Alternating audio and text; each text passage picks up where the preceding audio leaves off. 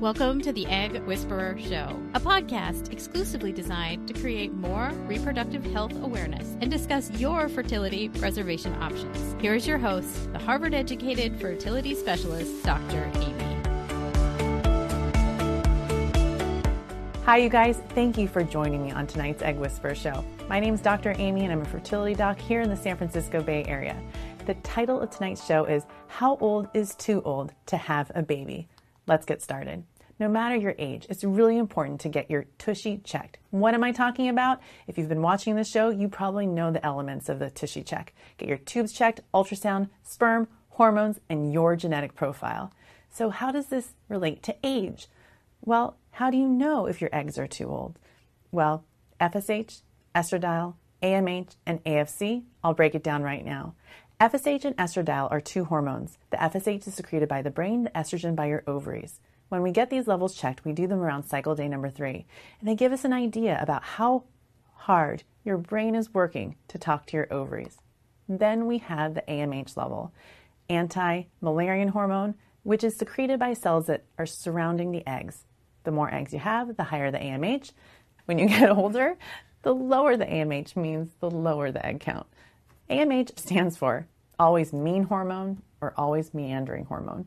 And what I mean by that is these things go up and down over time. They can slowly go up, slowly go down. And I have patients say to me, Dr. Aimee, my AMH went up. It's higher than it was three years ago. And I say, you know what? It's just about the same. And those kind of fluctuations are normal. And then we have an ultrasound of your ovaries, and that's where the AFC comes in.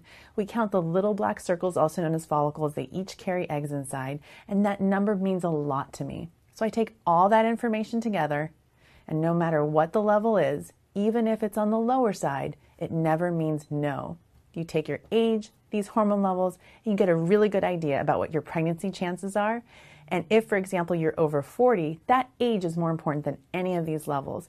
Each egg for a woman over 40 has about a 10% chance of being genetically normal. So, what I tell my patients who are over 40 is this have a threshold. Give it a length of time of trying and say, after six months, let's reevaluate. Let's see what's going on, repeat these levels, get a better understanding of what you've been through for the past six months, and then start talking about other options. Because I certainly want my patients to be moving on with the next stage of their life and not be constantly seeing me. I mean, don't get me wrong, I am a lot of fun. Being my patient is super fun. We laugh all the time. Fridays, I am the funniest. Mondays, not so much. My jokes get better over the week. So, when it comes to seeing me, I want to take care of people right away. I want to help them reach their goals right away. But I know for some people, it can take 13 years, literally. And everyone's journey is not the way they initially envisioned in the very, very beginning. But it's really important to go through the right steps. And every negative test to me means one step closer to a positive. I know that sounds like I'm super, super positive and like really, really annoying. And I don't think I am. I just think I like to give people the information that's going to help them the most because being a positive fertility provider, I think is really important because we always get all these negative images about ourselves, decreased ovarian reserve. And when I see those kinds of things on records that come in, I say to myself, and I say to the patient, look, I believe in your fertility. D O R does not mean donor. And certainly, a medical degree doesn't mean medical deity. And patients share with me stories where doctors have told them no matter how much money you have, you can never get pregnant with your own eggs. And certainly, we basically prove them wrong quite a bit, but not all the time. So there's something called chronological age versus biological age. And this is the thing. You can look amazing on the outside. You might be 40 and you've taken such good care of yourself, and 40 isn't old by any means, and then you're really like biologically you're 28 but the thing is that your fertility isn't skin deep. Your eggs don't know how amazing you look on the outside. Certainly it's wonderful that you take such good care of yourself. But if you're 40 your eggs are still 40 on the inside. I wish that i had a tool that i could use to help women grow more eggs once they've run out. I wish I had an answer for patients who, for example, are 44 years old, have an AMH of 0.2, and are looking for anything to have a kid with their own egg. But at the end of the day, we have other options. I call it creative family building, and they're great options, but you have to be ready for them. And I understand that. I have patients that come to me and say, Aimee, I want to do IVF. I'm 47 years old. I'm ready to have a baby, but it has to be with my own egg. And I say to them the following We're going to go into this expecting that it's not going to work, but I think it's so important that a woman be given an option to use her own eggs if she wants. because a man can have a pregnancy basically as long as he's producing sperm, no matter the age. So, who am I to limit a woman's chances? Going through the process of going through an IVF cycle, even if we don't make it to an egg retrieval, is always worth it for me because then that patient of mine will learn more about her biology than she ever has before. By at least attempting the process of IVF or taking fertility drugs gives her an opportunity to say, Yeah, I don't know that this is worth it for me to go all the way through an IVF cycle. But yes, I still really want a baby. And I think now I'm ready to consider donated eggs. So, chronological age versus biological age. Certainly, it's super important to be super healthy. However, when it comes to our ovaries, you can't put Botox in your ovaries. You've probably heard me say that before, and you constantly hear me say your fertility isn't skin deep. So, take advantage of your fertility no matter what your body size is. But at the end of the day, if you're 40, your ovaries are still going to be acting 40 no matter what your biological age tells you. So here are some tips no matter what how old you are for giving yourself the best chance of a healthy pregnancy no matter your age. So number 1 is exercising. So being in great shape and being physically fit is super important and the reason is not just for baby's health but also for your recovery postpartum. Again, eating healthy is important. You've heard, heard me talk about the fertility diet, which stands for diagnosis, IVF, endometrial testing, and transfer. But this kind of diet over here, this is more related to foods and eating green leafy vegetables and following a Mediterranean type diet, which is so common here in California and easy for us to follow, which has been shown to be very beneficial from a fertility standpoint. And the supplements I recommend to my patients are CoQ10 until you're done having your babies, prenatal vitamins, and folic acid. And part of the H in the Tushy method isn't just checking your fertility hormones, but also checking things like thyroid and vitamin D. So if your vitamin D is low, I'll add on vitamin D to this list of supplements that I ask my patients to take.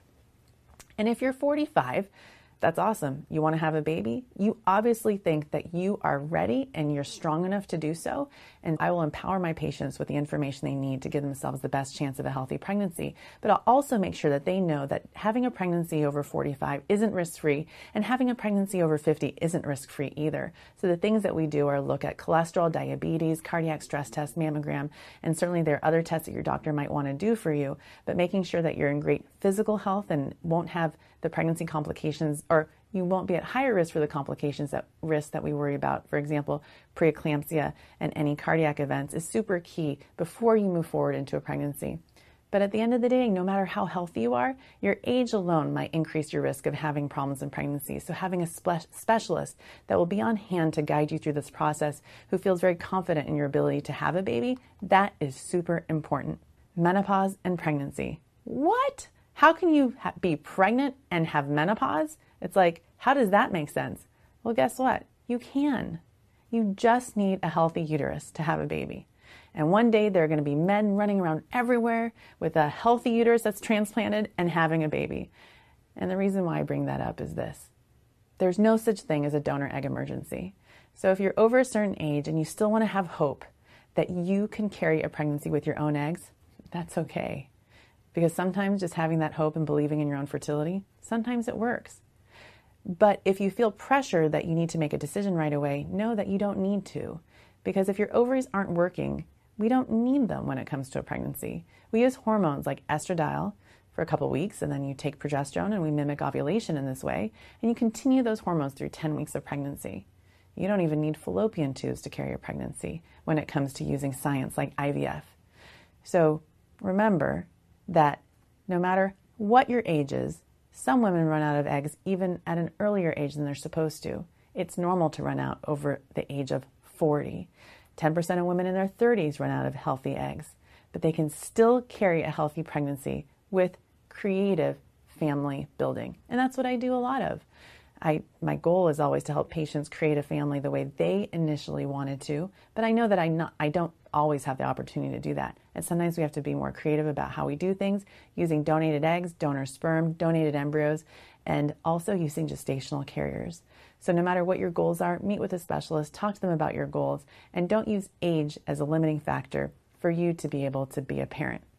So, now I want to go back and get on my soapbox before I end tonight's show. So, here are some little egg whisperer pearls of wisdom. These are the things that I recommend. For every woman who's 21 years of age, who has a family member like a mother or a sister who has gone through early menopause, I strongly encourage you to get your fertility levels checked, the FSH, estradiol, and AMH, as well as genetic screens like Fragile X and a chromosome, chromosome analysis. Every woman by the age she's 25 should get her fertility hormone levels checked, and depending on your situation, your relationship status, and your, and your goals, consider doing egg freezing. If a woman is 32, and would like at least two kids and isn't going to start trying for a family in the next five years, I strongly encourage her to freeze eggs or freeze embryos. Okay? And then if you've had a baby at your postpartum visit, get your levels checked. I see this so often that fertility myth where people are told that if you have a baby, the next one's going to be easy. I wish that was true. I so, so wish that was going to be true. So, at your postpartum visit, if you haven't had your levels checked, get your AMH done. See what's going on. Think about what you want to do next. And don't wait too long to have another baby. And certainly, if egg freezing or embryo freezing or something that you want to do, do it. And if a woman is 37 starting a family, strongly consider doing an embryo cryopreservation procedure, which is IVF or egg freezing, okay? Or both, depending on your situation. And then, last but not least, my birth control pill and IUD soapbox for everyone who starts birth control pills, especially at a young age. And for example, I meet these women who are on birth control pills for like over 10 years. Get your AMH checked before you start them, and then get your AMH checked every year or two as you're staying on them so that you're not tricked by the birth control pills. See, birth control pills can mask infertility. They make you feel like you're having regular cycles, but indeed, you're not. These cycles are induced by the hormones. And if you weren't on the hormones, your periods might be irregular, and then you would have maybe seen someone and gotten your levels checked sooner or later so you can have the option to preserve your fertility.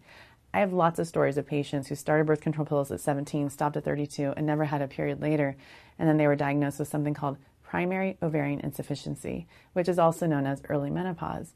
But had someone offered them this kind of testing that I'm describing to you right now, it could have been caught earlier, and she could have had options that she doesn't have anymore. Same thing for an IUD. Before you get an IUD placed inside the uterus, get an AMH level checked. The IUD lasts five years, so some people just forget about their fertility. Maybe get your AMH checked every couple years after that and ask yourself the questions that I always ask my patients. How old are you? How many kids do you want? What is it going to take to get what you want? And are you willing to do it? Okay, so that's my soapbox. Well, you guys, thank you for joining me on tonight's show. How old is too old to have a baby? Well, you tell me. Seriously. I individualize care for each and every one of my patients. No matter your age, I believe in you if you want to be a parent. No matter what your age is, of course, there are limits. But certainly, with more and more people freezing their eggs, with more and more people delaying childbearing to 40, 45, 47, 48, certainly as fertility providers, we have to be more open minded about how we can help them have babies as safely as possible. So, thank you for watching tonight's show. Remember to find a provider that's positive and believes in your fertility. And if you're not getting that kind of support, create your own fertility team, create your own sort of mind body center, and get in the zone, what I call the fertility zone. And I wish you guys all the best of luck. And I really hope you tune into the show next week. Have a great night. Thank you so much for listening and making the Egg Whisperer Show a part of your weekly routine. To find show notes and a full transcript for this episode, visit draimee.org and look under the blog tab. While you're there, you can find a link for the Egg Whisperer newsletter, which keeps you in the know about fertility news. You can also find Dr. Aimee and the Egg Whisperer Show on YouTube, Instagram, or Facebook. If you'd like to learn even more, Dr. Aimee offers classes at the Egg Whisperer School, eggwhispererschool.com, or you can request a consultation on draimee.org. Thank you so much for tuning in and for sharing the Egg Whisperer show with others. Keep sparkling and have a great day.